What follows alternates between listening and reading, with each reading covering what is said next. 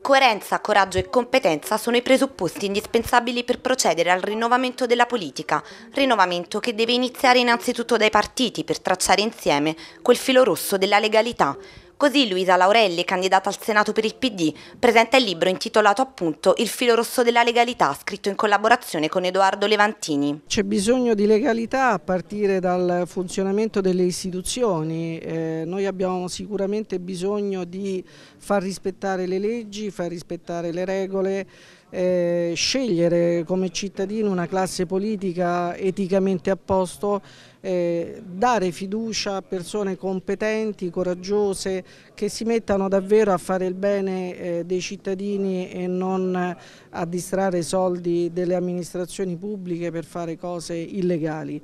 L'Italia è un grande paese europeo che eh, vive purtroppo la presenza delle mafie in alcune parti del suo territorio, da nord a sud, e la battaglia per il contrasto alle mafie e alle illegalità diffuse io credo che debba essere la priorità dell'agenda del prossimo governo che spero sarà ovviamente di centrosinistra. Un libro che è anche un progetto politico, quello di riportare legalità, moralità ed etica all'interno dell'apparato legislativo per combattere le mafie e promuovere una politica più sana, una legalità che conviene sia ai politici che ai cittadini e dal filo rosso della legalità emerge la proposta centrale dell'agenda politica dell'aspirante senatrice, ricavare dalla lotta alle mafie i fondi per risanare l'economia italiana creando nuovi posti di lavoro, puntando soprattutto sui giovani e sulle donne. L'illegalità genera un deficit di democrazia democrazia in cui facilmente i più fragili soccombono, afferma il parlamentare PD Jean-Léonard Toadi. Creare una cultura della legalità per instillare nei giovani il rispetto della legge deve essere obiettivo primario della buona politica, a cominciare dalle amministrazioni locali. Inevitabile il riferimento allo scandalo della Regione Lazio. I fatti degli ultimi mesi, dell'ultimo anno,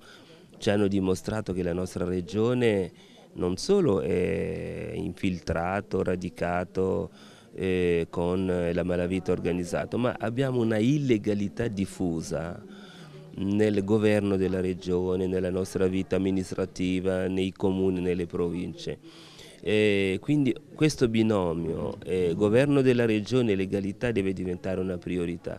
Nulla si può fare in realtà se non c'è legalità, tutto inizia e tutto termina con la legalità e legalità spesso aiuta l'economia, aiuta il buon lavoro che non è precariato, aiuta una, un ciclo sano dei rifiuti e aiuta un'edilizia che metta al centro le famiglie, le necessità delle famiglie e non solo la speculazione. Ecco, la Regione Lazio deve recuperare molto proprio nella cultura della legalità che deve essere incarnata nella macchina amministrativa della Regione. Insomma, risorgere si può, dando valore anzitutto all'etica pubblica.